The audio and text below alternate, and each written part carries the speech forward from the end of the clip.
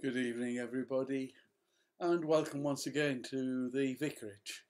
I'm Father John Barker. I'm the Vicar of the Parish of All Saints, Harrow Weald, and we are live streaming our worship and will be live streaming our worship by the grace of God and if it will be God's will.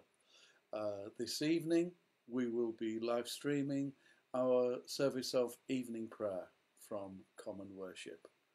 It is indeed feeling like evening in Harrow Weald.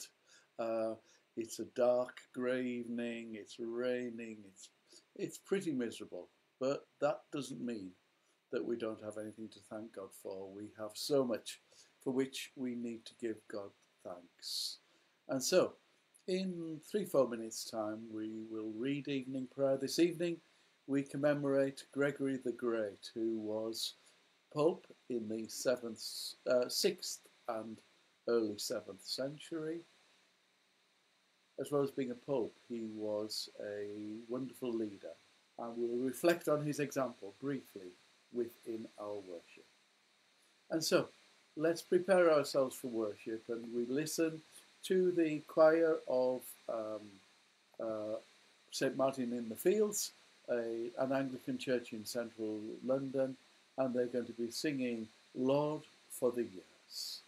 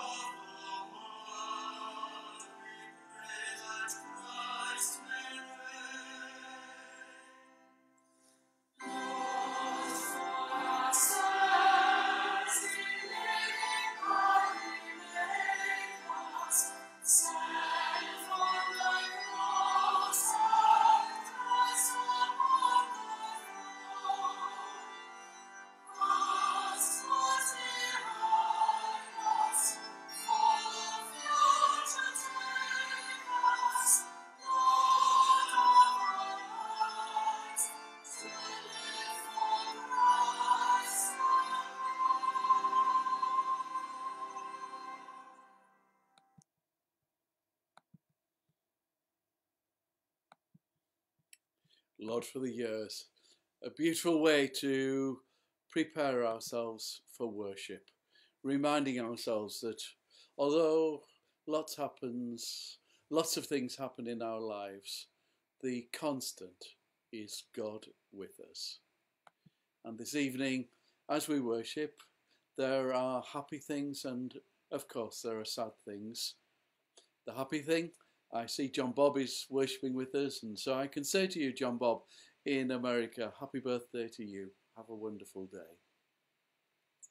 And then also, anybody who is listening from Buxted or Hadlow down, in our prayers this evening, we will commend to God's mercy the eternal and immortal soul of a dear friend of us all, Neil Kempson, whose struggle with pain is over. And we pray, and we will pray, that his rest with God may be eternal. Now, let us worship God. Evening prayer. I greet you all in the name of the Father, and of the Son, and of the Holy Spirit. Amen. O God, make speed to save us. O Lord, make haste to help us. There shall come forth a shoot from the stock of Jesse, and a branch shall grow out of his roots. And the Spirit of the Lord shall rest upon him the Spirit of wisdom and understanding, the Spirit of counsel and might, the Spirit of knowledge and the fear of the Lord. He shall not judge by what his eyes see, or decide by what his ears hear. But with righteousness he shall judge the poor, and decide with equity for the meek of the earth. The wolf shall dwell with the lamb, and the leopard shall lie down with the kid. The calf, the lion, and the fatling together, with a little child to lead them. They shall not hurt or destroy in all my holy mountain, for the earth shall be full of the knowledge of the Lord as the waters cover the sea. Glory to the Father, and to the Son, and to the Holy Spirit, as it was in the beginning, is now, and ever shall be. Amen. Let us pray that this evening may be holy, good, and peaceful. Let us pray with one heart and mind. And so let's keep silence for a moment and share with God our thoughts at this time. Some maybe thanks for a wonderful day, for others, sadness at the loss of a dear friend. Whatever we're thinking, let's share everything with God.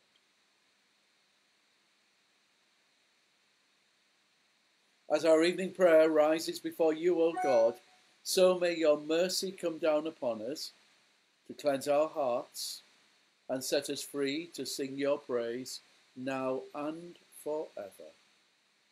Amen.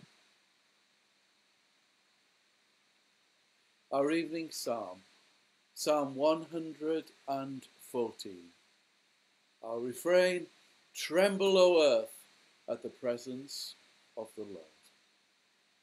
When Israel came out of Egypt, the house of Jacob from a people of a strange tongue, Judah became his sanctuary, Israel his dominion. The sea saw that and fled. Jordan was driven back. The mountains skipped like rams. The little hills like young sheep. Tremble, O earth, at the presence of the Lord. What ailed you, O sea, that you fled? O Jordan, that you were driven back? You mountains, that you skipped like lambs? You little hills, like young sheep? Tremble, O earth, at the presence of the Lord, at the presence of the God of Jacob, who turns the hard rock into a pool of water, the flint stone into a springing well. Tremble, O earth, at the presence of the Lord. Strike the rock of our hard hearts, O God, and let our tears of joy and sorrow mould us to bear the imprint of your love, given in Christ our risen Lord. Glory to the Father, and to the Son, and to the Holy Spirit, as it was in the beginning, is now, and ever shall be. Amen. Great and wonderful. All nations shall come and worship you, O Christ, and share in the feast of your kingdom. Great and wonderful are your deeds, Lord God the Almighty. Just and true are your ways, O ruler of the nations. Who shall not revere and praise your name, O Lord? For you alone are holy. All nations shall come and worship in your presence, for your just dealings have been revealed. To the one who sits on the throne and to the Lamb be blessing and honour and glory and might for ever and ever. Amen. All nations shall come and worship you, O Christ, and share in the feast of your kingdom. Our evening reading from the Bible is taken from Mark's Gospel, verses from the uh, seventh chapter. I smile as I see that there's a typo. It is verses 24 to 30, not 303. From there, Jesus set out and went away to the region of Tyre. He entered a house and did not want anyone to know he was there. Yet he could not escape notice. But a woman whose little daughter had an unclean spirit immediately heard about him, and she came and bowed down at his feet. Now the woman was a Gentile of Syrophoenician origin. She begged him to cast the demon out of her daughter. He said to her, Let the children be fed first, for it is not fair to take the children's food and throw it to the dogs. But she answered him, Sir, even the dogs under the table eat the children's crumbs. Then he said to her, for saying that you may go. The demon has left your daughter.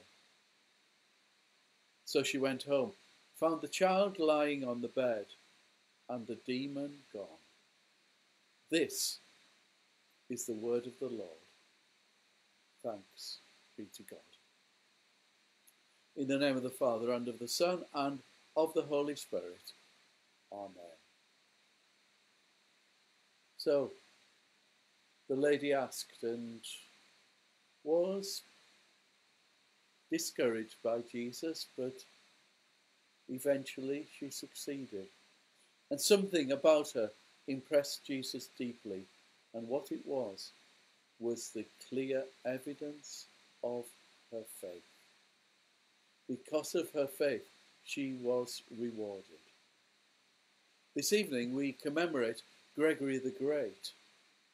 Gregory was a pope in the late 7th and early, so late 6th and early 7th centuries. So from 590 to 604. And of course, that meant that he had great powers and a lot of responsibility and a lot of privilege. But what is most remembered about Gregory is not his flair and his pomp and his, his ceremony. It was the evidence of his faith, which has meant that he's become known not just as Gregory, but Gregory the Great. Our Church of England has its roots in the vision of Gregory. When he was Pope, one of the things he did was send Augustine and Mellitus to work among the people of Anglia, the Anglo Saxons, in what we now call England. And even though they turned back and went home because they lost courage, they were reassured by Gregory and sent back again, and the church was established. Augustine was the first Archbishop of Canterbury, and the tradition continues through to the day with our Archbishop Justin. There's an example of his faith.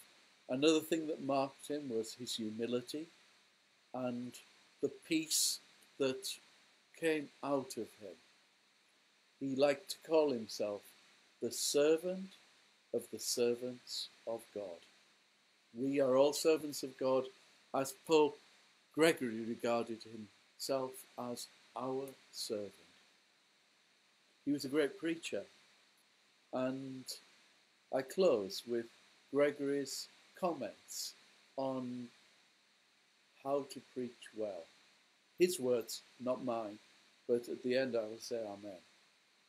If a preacher does not denounce the wicked, he himself will be reckoned guilty. For only one who is not afraid to say what they rightly feel and does not blush to do so ought to be a defender of the faith. The preacher is a physician, a doctor, who does not blush to prescribe the medicines. Indeed, Amen.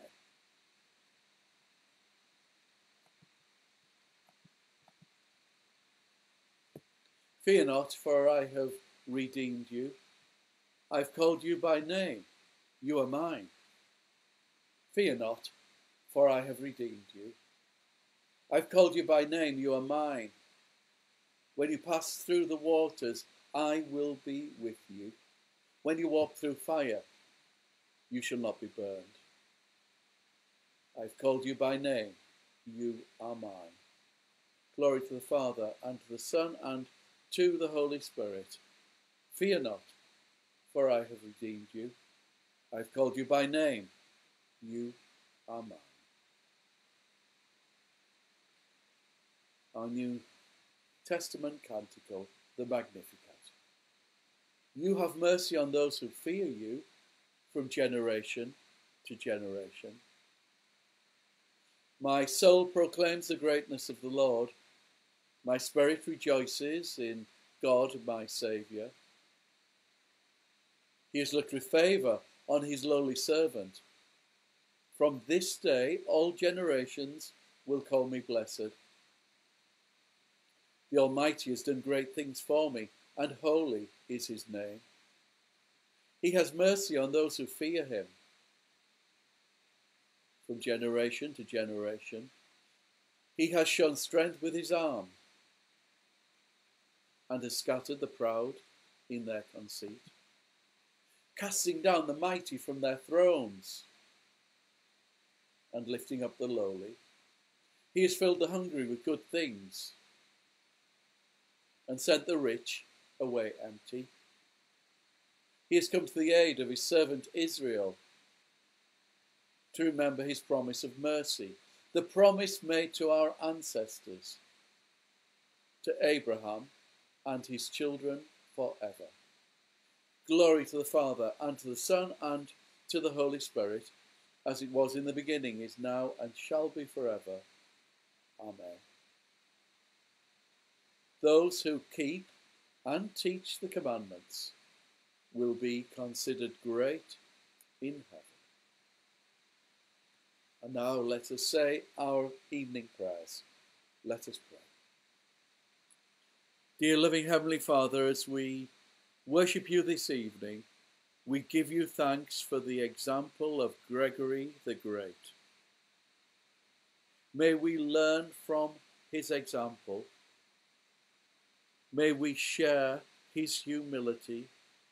May we feel the internal peace that he felt. And may we share our faith, encouraging others and keeping constant. Lord, in your mercy, hear our prayer. This evening we give you particular thanks for our Church of England, which has continued since the time of Gregory, constantly evolving, continually changing. May we continue to change so that we can, in the best way possible, serve you and serve your people. May we be the servants of the servants of God. Lord, in your mercy, hear our prayer. And now we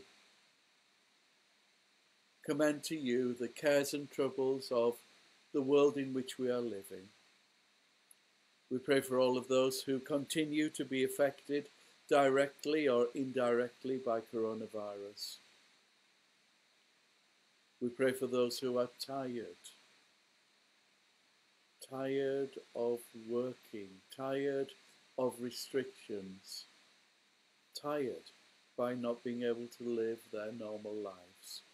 May your peace surround them and give them strength. Lord, in your mercy, hear our prayer. And now we pray for those who we know and love, particularly those who especially need your peace within their souls and your strength to keep them going at this time. We continue to pray for our dear friend Doug Garrett, and we pray that your peace may be with him. And in the silence of our prayers, we remember those who we personally know who particularly need to feel your presence with them. Lord, in your mercy, hear our prayer. And finally, in these prayers, we remember those who we have known and loved who are with us no longer. This evening, we especially give thanks those of us who have had the privilege to know, to love, and to be loved by Neil Kempson. We thank you that his struggle with pain is now no more.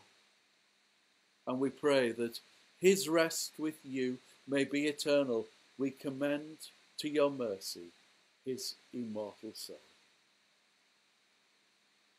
And we commend ourselves and all for whom we pray to the mercy and protection of God. Merciful Father, accept these prayers for the sake of your Son, our Saviour Jesus Christ. Amen. Our evening collect.